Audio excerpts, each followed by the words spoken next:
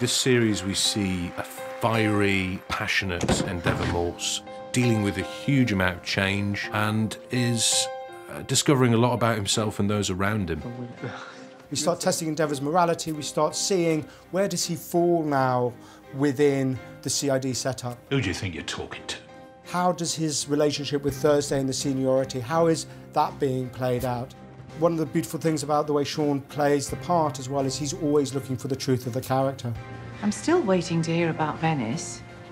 The Streets are filled with water. Those characteristics slowly forming towards a Morse that maybe some of our fans might know from the books. Otherwise, I take my comforts where I can.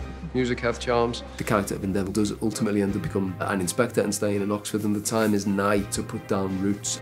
Decorated it over the course of the series. It's also symbolic of where you are. He's achieved a lot. Should perhaps have slightly more respect because I think he thinks he's the brightest person in the room often. It's difficult to still be an underdog. Molly Andrews. Well, that would be my guess. So it makes sense to me that you would have a degree of impatience. I picked some of the books up and began to read them again. And that is somewhere we have to head towards and uh, Inspector Morse TV series as well. All of the seeds were there at the beginning in the pilot. That's to do with booze, to do with a terrible relationship with women, Ah.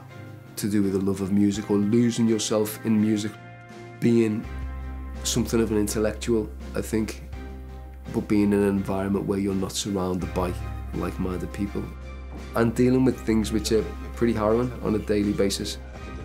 But I actually just think it's a natural evolution as well of this person who we've started with. The way he interacts with people goes and changes as well, you know.